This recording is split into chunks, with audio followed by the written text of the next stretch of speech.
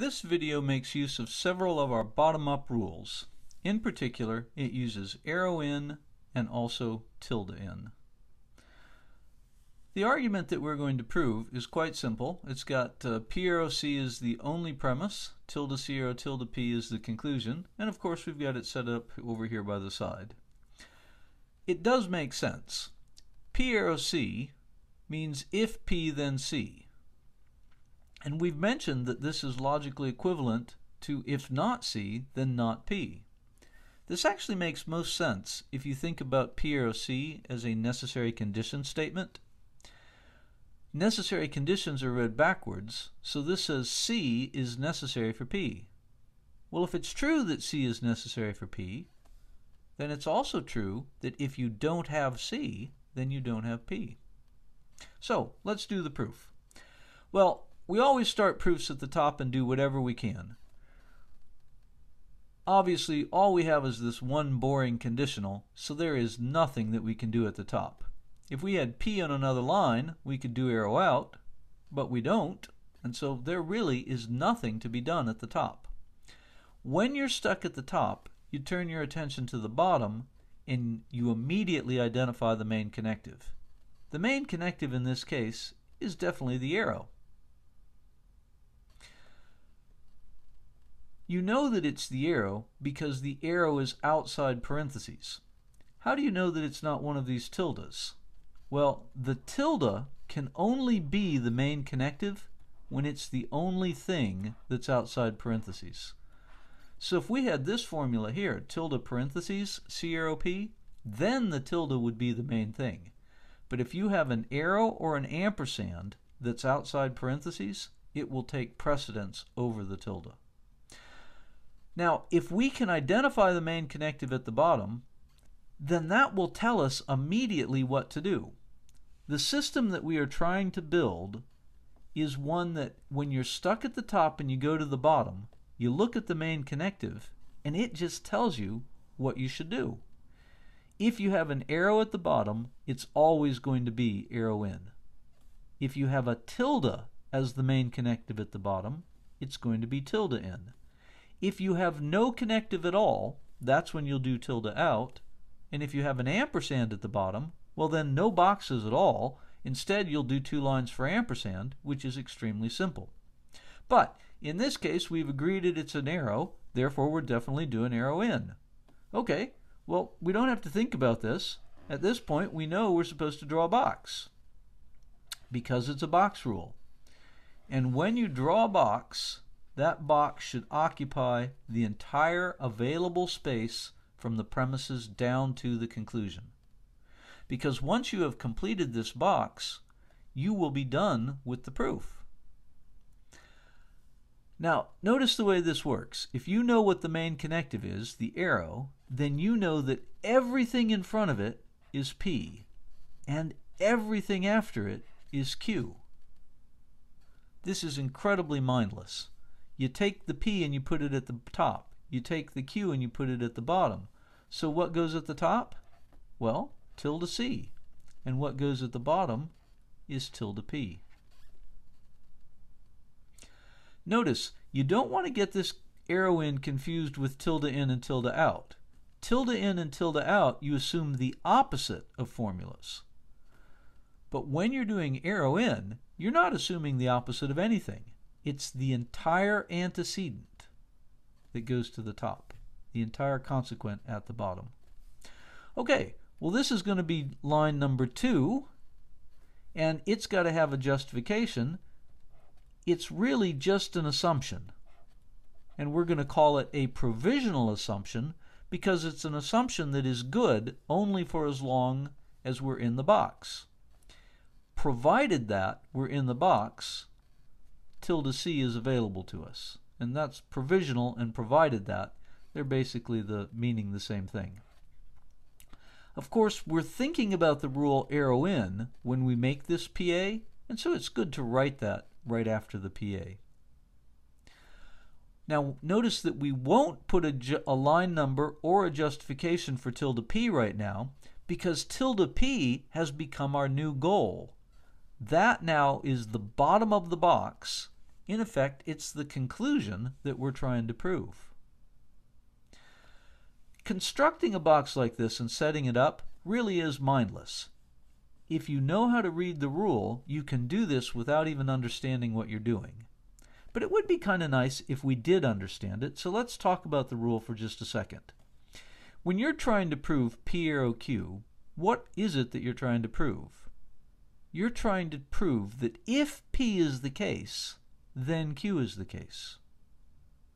Or in other words, that P leads to Q. You're not actually trying to prove that P is true or that Q is true. And that's why when we're proving this, it's okay for us to just give ourselves P and say, well, let's pretend that P is true. Because we're not trying to prove that P is true, we're trying to prove that if you gave us P, we could get to Q. In fact, sometimes I like to put an arrow right here and say, well, see, the way this works is it says, if you give me P, then I will get to Q. And if I can do that, then I can prove that P gets to Q. You show the vertical arrow, and that proves the horizontal arrow. Okay, so that's exactly what's going on over here. We're trying to show that if tilde C was true, then tilde P would also have to be true. So let's pretend that tilde C is true, and we'll show that that would get us to tilde P. Every time you have a box set up, you go back to the top of the proof and you see if you can make progress. The first three rules that we learned arrow out, ampersand out, and ampersand in those were top down rules. And so now we're going to look up at the top and see if we can make use of any of those. Well, the truth is we clearly can't, right? We still can't work on this arrow because we don't have P on another line by itself. Tilde C is uninteresting. So there just there is still nothing to be done up at the top. All right, that's not a big deal. Whenever you're stuck at the top, it's time to go back to the bottom. What's the important bottom at this point? It's tilde P. That's our current goal, so it is the bottom. Well, when you go to the bottom, you identify the main connective. What is the main connective? It's the tilde. Okay, which of these four things tells us what to do with a tilde? It's obviously this one here, tilde P. In fact, in this case, we even have the same letter. So we have tilde p. That means we're supposed to do tilde in. Okay, so we have to draw another box. All right, we like drawing boxes.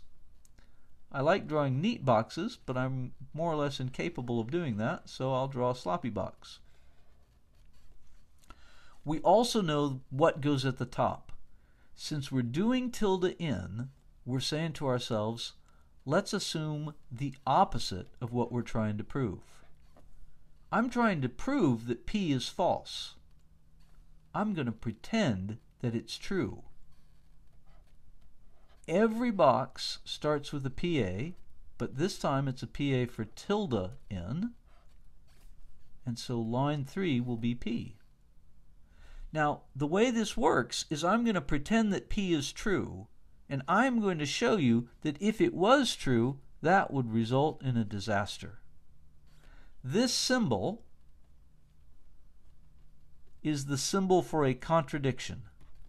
It equals a contradiction. And in logic, a contradiction is merely a formula of the form P ampersand tilde P. P ampersand tilde P is pure nonsense. It's like saying, ah, I like polar bears. Oh, and by the way, I don't like polar bears. It's like saying, ah, pie is delicious. And by the way, pie is not delicious. It's just saying one thing and turning around and saying exactly the opposite, and that is truly nonsense. And from a logical point of view, it's a disaster. Why do we want a disaster to show up in our proof? Because we're trying to show you that if P was true, that would be a serious problem. Therefore, P can't be true. When you're doing arrow in, you're showing that P leads to Q. When you're doing tilde in or tilde out, you're showing that your assumption leads to a disaster. if something leads to a disaster, well, then it can't be the case. So if P leads to a disaster, P must be false. If not P leads to a disaster, well, then P must be true. Okay, so back to our proof. Once you have the box set up, and we do because we have P at the top and a contradiction symbol at the bottom, now you're back up to the top. Lines 1, 2, and 3 are what we're looking at, and we're going to see if we can make any progress. Well, if I had a P, I could write C. Oh, I finally have a P, so that's going to let me write C. And the justification, of course, is 1, 3, arrow out. And now I check off 1. Well, notice that 2, 3, and 4 are all too short by themselves to be interesting, but I'm looking for a contradiction. And a contradiction is anything of the form P and tilde P. And notice what I have. I have C and tilde C. Ah, it's time to put those together. C ampersand tilde C. Big explosion. Yes. Oh, I probably shouldn't have done that. I just made a mess. But the contradiction is a logical disaster. I put the C and tilde C together. Logical disaster. Since P results in a logical disaster, then it can't be true, and so I have now finished the proof. 6 and 7 are the conclusions that I have proved, and all I need to do is write in their justifications. I was having too much fun drawing my explosion, and I see that I forgot to put the justification for line 5. What's it supposed to be? Well, we just took 2 and 4 and put them together, so all it is is 2, 4, ampersand in. What's the justification for tilde p? Well, it's the box that goes from 3 to 5. So that would be 3 through 5, and then the name of the rule, which is tilde in. Notice the box, I'm saying it's 3 through 5, and I'm saying it's 3 through 5 because that's the box that sits right on top of it. If I go up to line 3, and I will see that that was a PA for tilde in, and so I notice that there's a nice correspondence between the PA at the top and the rule that I use right below the box. What about line 7, tilde C arrow tilde P? Well, the box above it started at 2 and ended at 6. So that's 2 through 6, and then the name of the rule arrow in, and I notice that there was arrow in up at the PA on line 2, and so once again I get this nice correspondence. Okay, in most respects, this is a very simple proof, and I hope that um, I hope that this is making sense.